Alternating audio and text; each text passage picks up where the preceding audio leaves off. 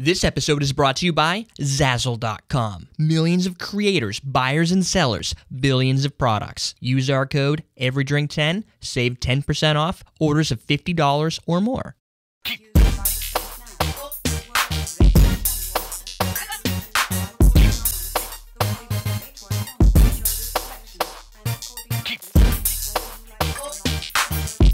Welcome to Common Man Cocktails. I'm your host, Eric Schomer. Today we're going to create the co- Kokobo Chocobo recipe. This is a Chocobo cocktail From Final Fantasy. from, from Final Fantasy, that's right. Uh, this recipe was created, invented, or found by Evil Dough. Um, guessing that's not your real name.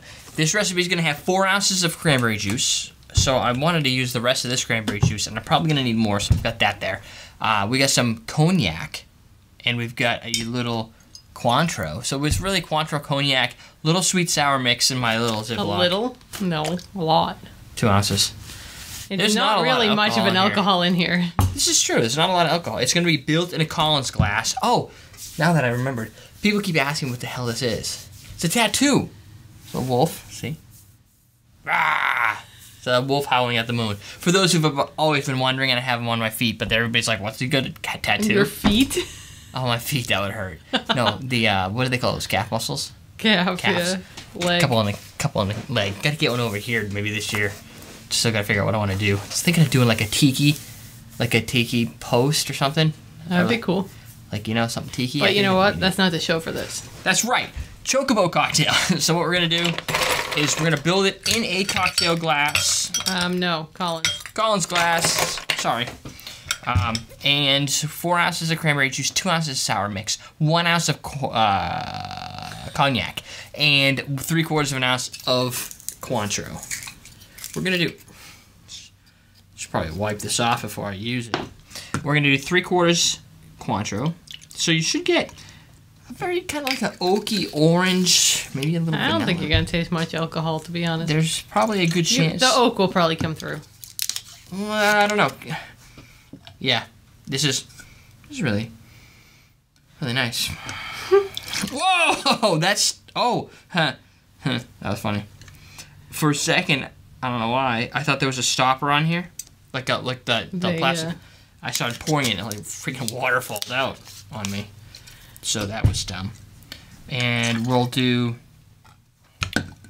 sweet sour. Oh, I also forgot to mention we're gonna do an we're gonna just squeeze the lime and drop it in. That's kind of the garnish, and it kind of plays off the sweet sour mix, where the sweet sour mix is going to have a specific sweetness and sour balance to it. What we want to do is give it a, a hint of fresh lime. And if you go to everydaydrinkers.com to our latest podcast where we interviewed a mixologist who basically said, look, regardless of what you do, even if you want to if you want to make a scaled amount of drinks, like a ton of drinks, buy a few limes. You might even use lemonade, but you squeeze the limes in at the last minute to get that extra sour factor because it, it gives a little more bite to it that you lose by having the uh, lime juice out in the air for too long because the oxidation actually burns off a lot of that its bite. Like cooking jalapenos. It very yeah, it actually. Oh come on, a half an ounce. Did you already open this? Mm-hmm. Okay, you took a sip. Mm-hmm. All right, I didn't know if like that. I got that out of the closet half open. it's like, oh, this is scary now. but I think it'll be good. You're all set. I'm good. Squeeze. Unfortunately, I'm kind of using the tip of the, the, the edge of the lime because I, I needed to garnish for something else. That is pretty nice. It's a darker red with a nice vibrant green top garnish brought down to the orange. So you're going to get a lot more alcohol down here, I'm guessing. Orange? Oh, Wasn't it orange? Pinkish. Pink? Kind Pink of to peach. bright. Peach. Peach to Oh, red. Peach. Peach to red. So this is probably going to taste a little bit like cranberry juice until we get down to the meat of the situation. Or you could stir it, but I don't know where the heck I I get a stir for that. I could use like my, Don't know where my you get party a stir. paddle, stir it in there. Could you give away some more party paddles?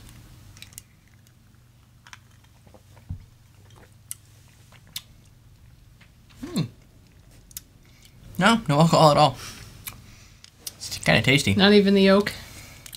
No, it's there's a lot of cranberry juice.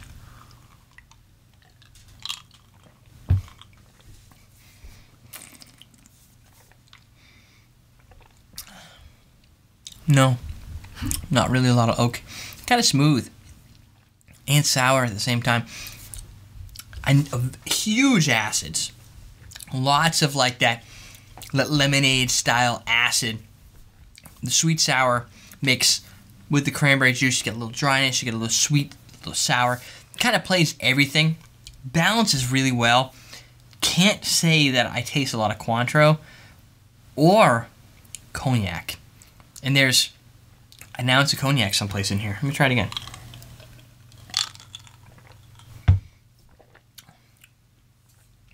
No, not a lot of cognac at all. So, if you're looking for a drink that's almost lemonade style, juicy, delicious, really makes me hungry, like that, you get That's a s- you start to salivate.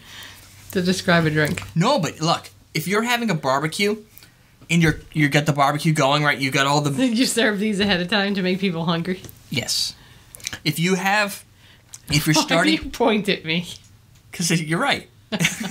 if if you're cooking on the grill, you've got the stuff laid out, you get the burgers. You're like, I got ten minutes. You bring these things out, people are gonna they're gonna be they're ooh, You're gonna have to cook extra burgers. You're gonna probably have to cook extra burgers. So think about that ahead. If you're gonna make this, buy extra burgers for the chocobo, and and then well, not for the chocobo because they don't they're, they're not meat eaters, but bring all that together. How do you know?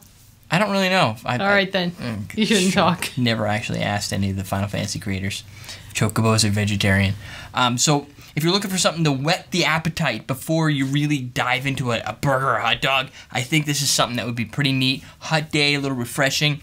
A little dry, a little sweet, a little sour, a little everything. There you go. That is the Chocobo cocktail, and it's pretty, pretty cool looking. So, and I think I drank a little bit of it. Tasty. I'm your host, Derek Schomer. Check us out on everydaydrinkers.tv. If you don't want to go there, you just head over to alcoholsbyvolume.com and you can watch that show too. We're teaching you how to drink.